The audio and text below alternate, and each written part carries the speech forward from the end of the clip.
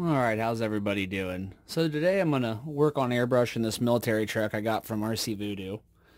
And to start off with that, I have uh, this Tamiya XF64 and XF1. Normally when I get these, uh, they'll be just a little bit, uh, they'll probably set around this level. I just take the X20 thinner and fill it up to right where the glass starts to bevel in and shake it up, and that's usually pretty pre-mixed pretty good for these Tamiya paints. Well, we got the airbrush here. I'm running my pressure around 30 pounds.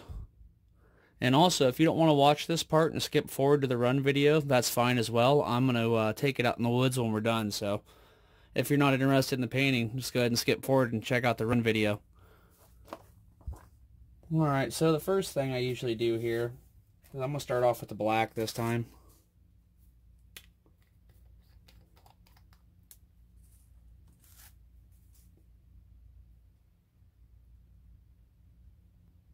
Fill the airbrush up. And I usually keep a thing of water around to flush my little sucker with.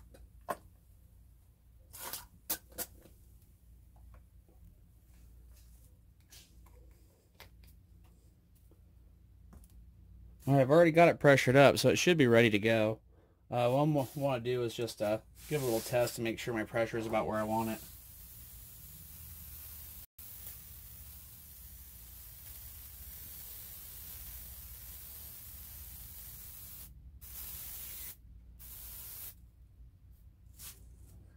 Yeah, it looks about close enough. So, alright, uh, let me stop this and get started with the actual airbrushing part.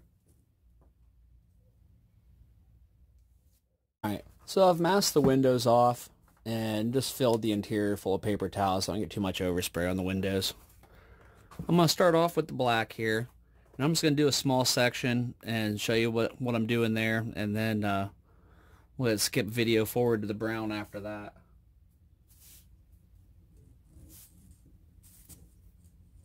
Let's see, let's start right in here.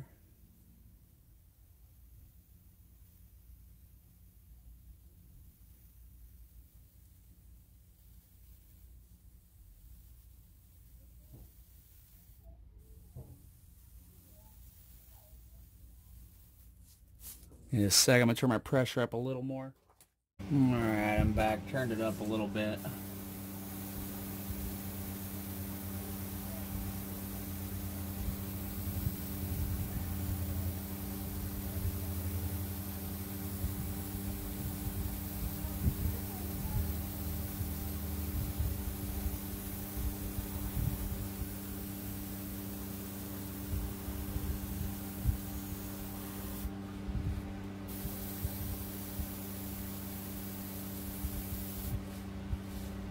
I'm not making any specific camo pattern here.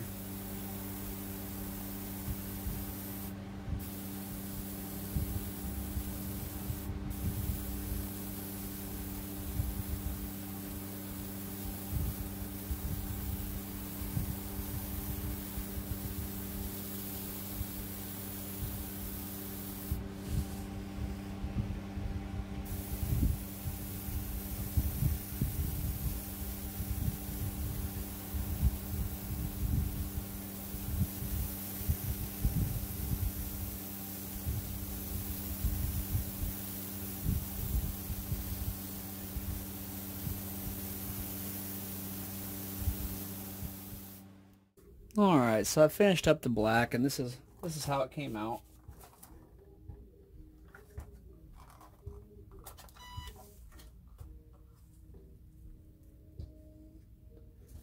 And then also inside the bed, uh, I went ahead and added the panel lines on the inside to match up with the outside. It's got a little extra shading effect and a little extra shading around the exhaust area.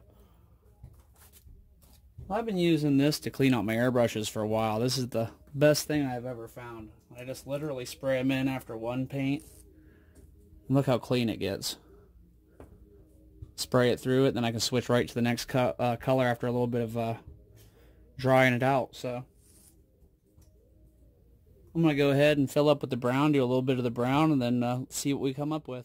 All right, I'm back. I got the brown loaded up. Start doing a little bit of that. Uh, if you hear any outside noises, the uh, the neighbor kids are outside playing. I, I know it's strange. I have neighbor kids that actually go outside and play instead of doing video games.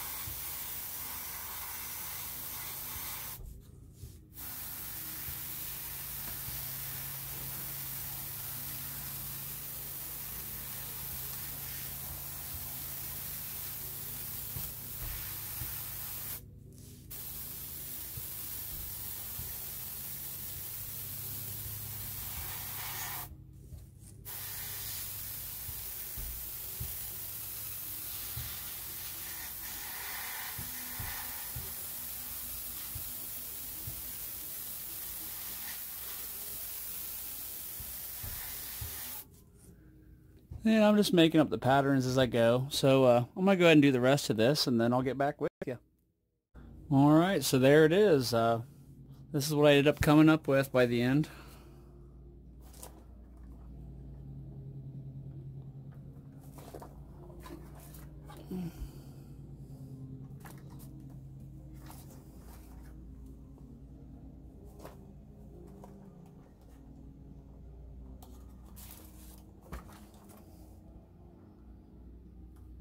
Alright, so I said I wasn't going for any specific cat, uh, camo pattern. I was just grabbing black and brown and, and going to town with it. So uh, that's what we come up with. Next thing's a trail ride, so let's see how it looks on the trails, guys.